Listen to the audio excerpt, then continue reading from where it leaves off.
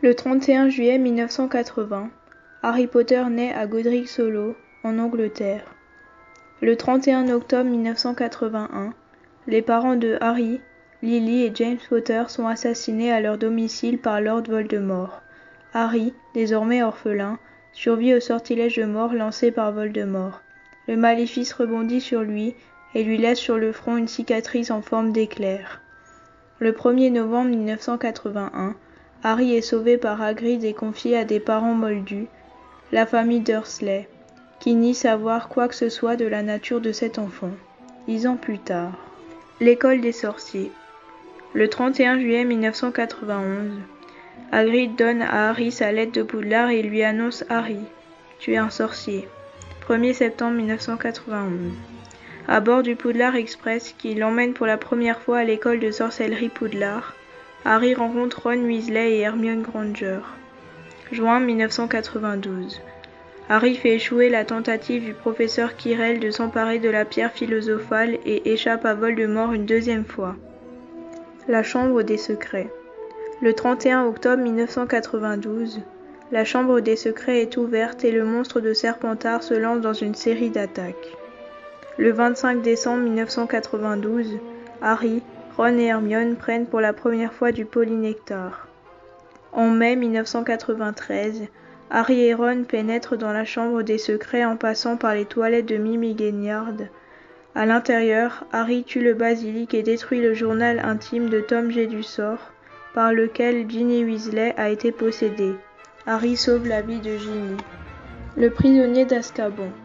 En août 1993, dans la Gazette du Sorcier, Harry apprend qu'un prisonnier s'est évadé, Sirius Black, qui peut prétendre au titre du plus infâme criminel jamais détenu à la forteresse d'Azkaban. Le 1er septembre 1993, le Poudlard Express est intercepté par des détraqueurs. Le 6 juin 1994, Harry comprend que Sirius est innocent. Il a été accusé à tort alors que le vrai coupable est Peter Pettigrew. Harry et Hermione se servent du retourneur de temps pour sauver Sirius. Pettigrew, le coupable, s'enfuit pour la première fois. La coupe de feu. Août 1994. La marque des ténèbres apparaît lors de la Coupe du monde de Quidditch signifiant le retour de Voldemort et son ascension vers le pouvoir. Septembre-octobre 1994. Le professeur Dumbledore annonce que le tournoi des trois sorciers se tiendra à nouveau pour la première fois depuis plus d'un siècle. Étrangement, la Coupe de Feu sélectionne Harry, qui n'a pas l'âge requis, pour y participer, donnant un poudlard de champion, Harry Potter et Cédric Diggory. Le 24 novembre 1994, pour la première tâche du tournoi, Harry, virtuose du vol sur balai, arrache un œuf d'or à un magiar à pointe au souffle de feu. Décembre 1994, Victor Krum, champion de Durmstrang, invite Hermione au bal de Noël. Harry et Ron y invitent Parvati et Padma Patil. Le 24 février 1995, pour la deuxième tâche, Harry utilise de la branchiflore afin d'arracher Ron et Gabriel au lac dont ils sont prisonniers. Les juges apprécient diversement son héroïsme. Le 24 juin 1995, la dernière tâche se déroule dans un labyrinthe rempli d'obstacles et de créatures dangereuses. Harry et Cédric sont vainqueurs ex aequo, mais le trophée est un porte-loin qui les transporte dans un cimetière où les attendent Voldemort et ses mange-morts. Cédric est assassiné et Harry anéanti. Revient à Poudlard avec le corps du garçon et la nouvelle du retour au pouvoir de Voldemort. L'ordre du Phénix. En septembre 1995, Cornelius Fudge, ministre de la magie, refuse de croire au retour de Voldemort. Il nomme Dolores Ombrage, une adversaire de Dumbledore, professeur de défense contre les forces du mal.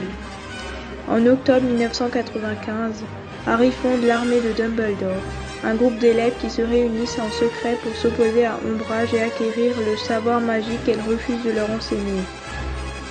En juin 1996, ayant refusé toute l'année des visions venues de Voldemort, Harry voit Sirius en danger. Avec ses meilleurs amis, il se rend au ministère de la magie et combat Voldemort une fois de plus. Ministère de la magie. Harry fait la découverte d'une importante prophétie qui lie encore plus étroitement son destin à celui de Voldemort. Ministère de la magie à nouveau. Sirius est tué par le mange-mort Bellatrix Lestrange et toute la réserve de retourneurs de temps du ministère est détruite dans la bataille du département des mystères. Le prince de sang mêlé. En janvier 1997, Dumbledore apprend à Harry ce qu'il doit savoir du passé de Voldemort pour parvenir à vaincre le Seigneur des Ténèbres. En mai 1997, Harry embrasse enfin Ginny après la victoire de Gryffondor dans la Coupe de Quidditch. Juin 1997. Poudlard est envahi par des mange-morts. Drago ayant été incapable d'exécuter le meurtre ordonné par Voldemort, Severus Rogue se charge de tuer Dumbledore à sa place. Les reliques de la mort. En août 1997, le ministère est tombé et Voldemort a pris le pouvoir. Harry, Ron et Hermione sont en fuite, à la recherche des derniers Horcruxes, dans leur quête pour vaincre enfin le Seigneur des Ténèbres. Décembre 1997. Harry, Ron et Hermione apprennent l'existence des reliques de la mort, trois objets qui, réunis, font de leur possesseur le maître de la mort. En mai 1998, Harry, Ron et Hermione retournent à Poudlard pour y chercher les Horcruxes, qui restent à découvrir et la bataille de Poudlard commence.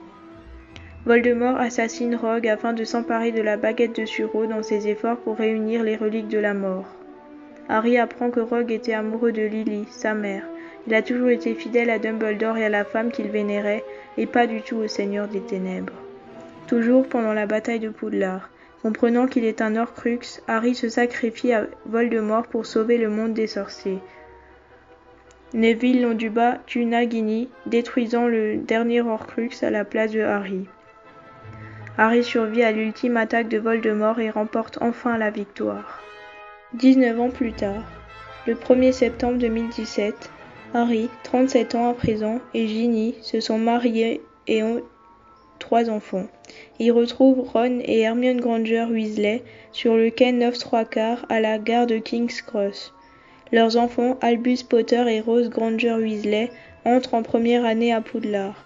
Albus a, peur d'être envoyé à Serpentard, mais Harry lui déclare Albus Severus, tes deux noms t'ont été donnés en souvenir de deux directeurs de Poudlard.